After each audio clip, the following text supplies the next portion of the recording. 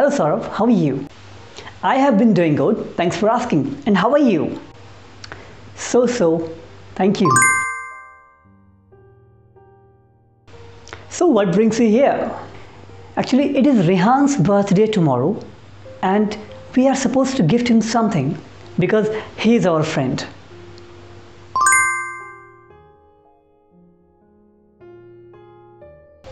Hmm, I agree with you.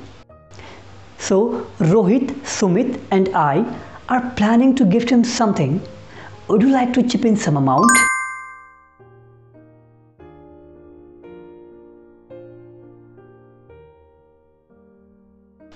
Undeniably, I would like to chip in 200 rupees.